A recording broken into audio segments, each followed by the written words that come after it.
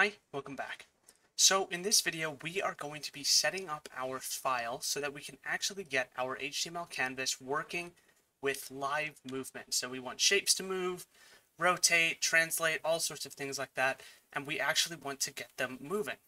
So the way we can do this is through some clever manipulation and just some general software design. Now the issue with Canvas is that it's inherently static. It's not meant for movement. It's meant to draw, it's meant to create shapes, but it's not actually meant to move things around.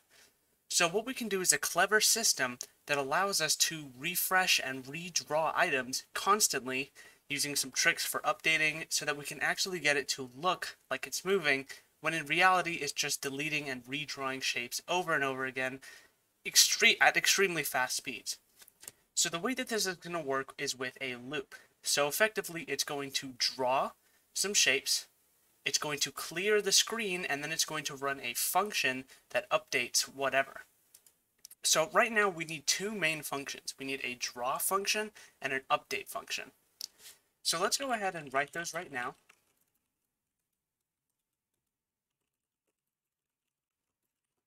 And for now, we're going to leave the update function blank. And in the next video, we're going to be dealing with actually updating, tracking shapes, all sorts of stuff like that. But for now, we're just going to do a basic demonstration of how this loop works. So what we're going to do is in this function is all of the drawing that you need to do. So this, imagine this as the function that is going to be creating all of the things in a certain frame of a video. It's going to be putting all the shapes in the current position that they need to be in at that moment in time. And then the update function is going to deal with how to actually get those shapes and everything that you have in the draw function to their next point in time. And then our main interval is going to bring all that together. So here we're just going to do whatever we want. Now for basic demonstration, I'm just going to be creating a rectangle in a random location on the page. So we're going to create, we're going to start by beginning a path. And then I'm going to use the fill rect function to draw it. Now this is just going to default to black since I haven't explicitly set the color. But what I'm going to do is use the math.random function to select a random number. Now this creates a random number between 0 and 1. It's a floating point decimal number. And you can actually multiply this by, what I, by whatever number you want to scale this up so that you have a random number between 0 and whatever is the number that you multiply it by. So in this case, I want a random width and a random height. So I'm going to use the canvas width. And this is going to be a random number on the x coordinate scale we have here. And then I'm going to repeat the process for the height. And I'm just going to set this to a basic 50 by 50, uh, 50 by 50 rectangle and close it off there. And then we're going to close the path. Now, this is a pretty simple demonstration, obviously, but it can get really long when you have tons of different shapes going around and you're going to have to involve loops and all sorts of stuff like that. And of course, we're going to deal with that in future videos, so for now, don't worry too much about it. Uh, but this is just a basic demonstration of what you can have. So in this case, our current slate in time is drawing a random shape in a random location around the screen and we don't really have an update function to update it because the technical updating is done within here, but since it's totally random, we don't need to.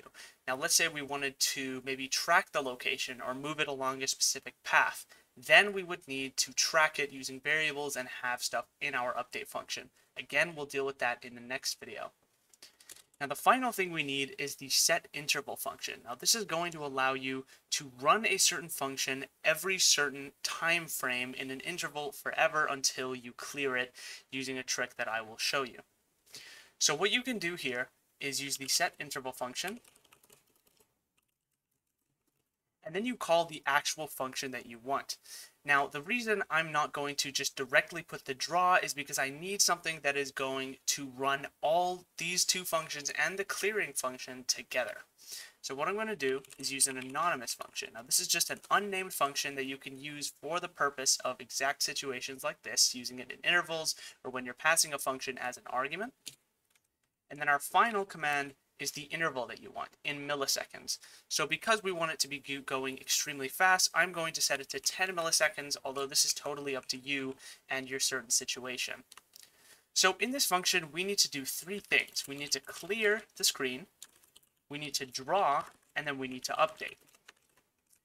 Now, although I said you needed to draw and then clear, keep in mind that the clearing is going to needs to take place at the beginning of the function because this is running synchronously. So if we drew it and then cleared it immediately, then it won't rerun the function again until the next interval, and you will end up with almost no time to see the drawing. In fact, there's it's virtually impossible to see the frame. So what you need to do is end on the scene being drawn so that for that interval it's totally visible and then just as the function loops back around it clears it and redraws it. So it needs to be done in this order. Now these two commands are very easy. We just replace them with our functions that we wrote up there. And in order to clear the screen, you can use a function called clear clearRect. ct.clearRect. And all this is, is just drawing a normal rectangle as you would here.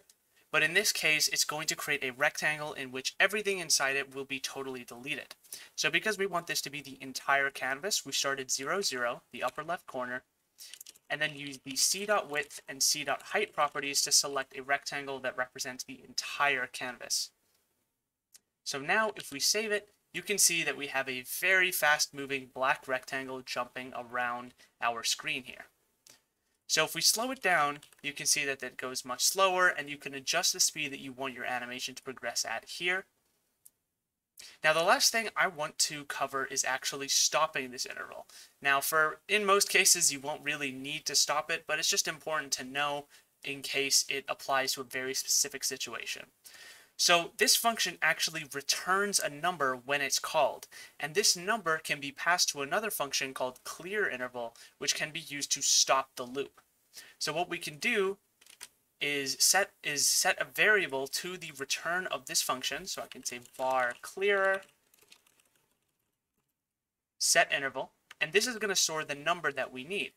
And then all we have to do is if we go to the console and I wanted to stop the loop, is use the clear interval function and then pass that number that represented, which in this case is clearer. And when we do that, you can see that the loop stops. Now again, the chances that you will need to do this is very low unless you're trying to move to a more a specific interval that you want, switch between loops, whatever your case may be, but it's just good to know that you can stop this loop at some point. So that's the refresh cycle that we need. We have a draw function, which draws everything in its current state and time, an update function that will deal with actually progressing the animation or your movement along, and then we have one grand set interval that clears the screen and sets up a loop for it to look like movement. All right,